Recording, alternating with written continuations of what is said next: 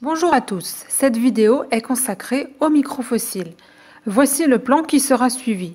Je vais tout d'abord donner quelques définitions, ensuite on évoquera très rapidement l'histoire de la découverte des premiers microfossiles, les méthodes d'études possibles et enfin je terminerai en soulignant leur importance particulière. Pour éviter de faire une vidéo trop longue, j'ai décidé de ne pas présenter ici les principaux types de microfossiles. Ce sera l'objet d'une seconde vidéo le lien se trouve dans la description. Comme d'habitude, toutes les photos présentées sont soit des photos personnelles que vous pouvez retrouver sur mes différents sites internet, soit des photos libres de droit.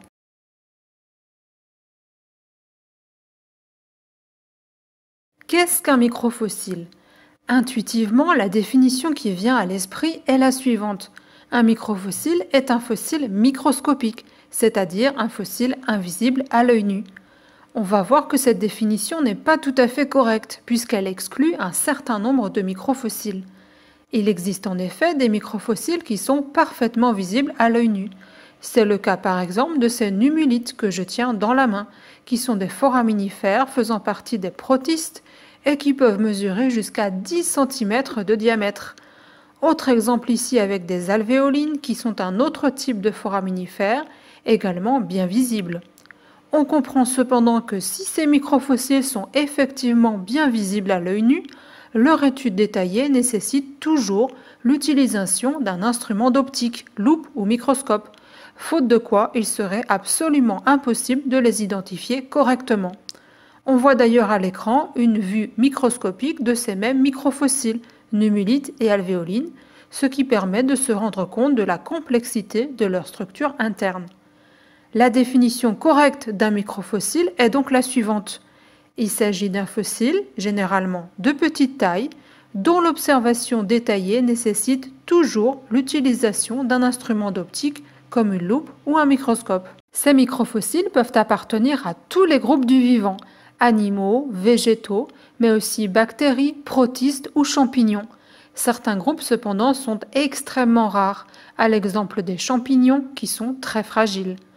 On distingue également d'une part les organismes entiers de petite taille comme ces foraminifères ou ces radiolaires par exemple, et d'autre part les fragments de macro-organismes. Par exemple, de petits fragments de coquilles, comme on peut le voir ici dans ce sable coquillé, seront considérés comme des microfossiles, même s'ils sont issus d'un organisme de grande taille, comme un bivalve ou un gastéropode. Enfin, pour terminer cette introduction, il convient de signaler que deux disciplines scientifiques s'intéressent aux microfossiles, la micropaléontologie et la palynologie. La première concerne principalement l'étude des microfossiles à parois minéralisées et la seconde ceux à parois organiques. Le premier terme est souvent utilisé dans un sens plus global.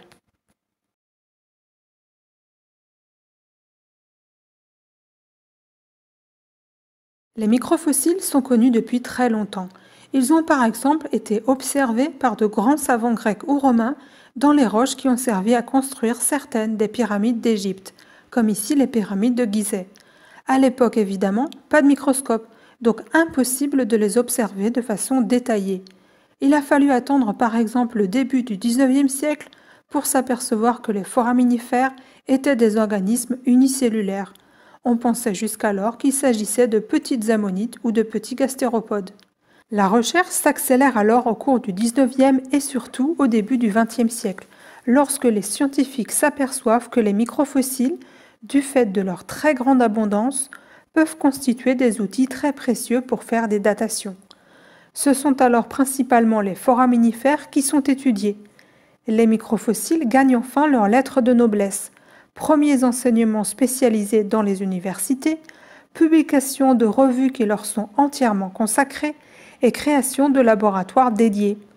La micropaléontologie se développe ensuite de façon considérable à partir de la deuxième partie du XXe siècle, notamment en rapport avec le développement rapide de la recherche pétrolière qui utilise les microfossiles comme outil de datation privilégié.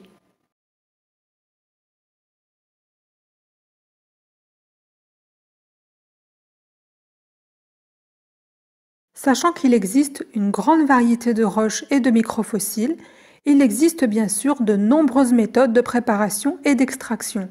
qui peuvent être soit chimiques, soit physiques. Certaines sont très simples à mettre en œuvre, d'autres nécessitent l'utilisation d'un laboratoire spécialisé, doté par exemple de broyeurs, de pilons et de mortiers, d'étuves, de tamis, de centrifugeuses, de hottes aspirantes et bien sûr de divers récipients et produits chimiques variés. L'une des méthodes les plus courantes est l'utilisation de tamis pour effectuer des lavages à l'eau. Cette méthode ne concerne que les microfossiles les plus grands, de taille supérieure à 100 micromètres environ, comme les foraminifères ou les ostracodes par exemple. La roche peut être broyée grossièrement au préalable ou être désagrégée à l'aide de différents produits chimiques, mais les manipulations doivent être limitées au minimum pour éviter d'altérer les microfossiles. Une fois le lavage effectué, le résidu de lavage est mis à sécher à l'étuve et ensuite les microfossiles peuvent être observés et triés à l'aide d'une loupe binoculaire, sur fond noir ou blanc selon les cas, dans un plateau de tri. Le stockage des microfossiles isolés se fait dans de petites boîtes spécialement conçues, comme ces cellules de microfaune. Leur observation détaillée peut ensuite être faite à l'aide d'un microscope électronique à balayage. Les nanofossiles de taille inférieure à 50 micromètres peuvent être observés à l'aide de frottis, la procédure ressemble à celle suivie pour faire des frottis sanguins. On dépose une toute petite quantité de roche, préalablement écrasée en poudre fine, et on étale celle-ci avec de l'eau avant de recouvrir d'une lamelle et de faire sécher. Quand l'extraction est impossible, soit parce que la roche est trop dure, soit parce que les microfossiles sont trop fragiles, les échantillons serviront à la préparation de lames minces, comme on peut le voir à l'image. Ces lames seront ensuite observées à l'aide d'un microscope polarisant.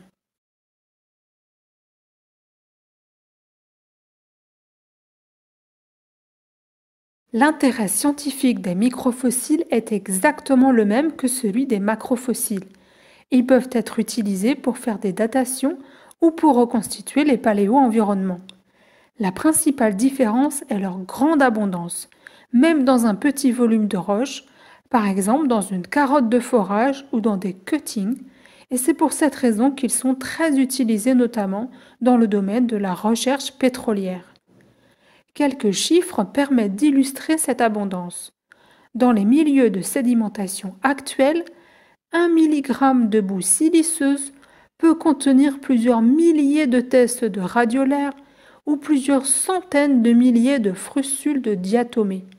Après induration, la concentration sera bien sûr moindre, mais elle reste malgré tout très importante.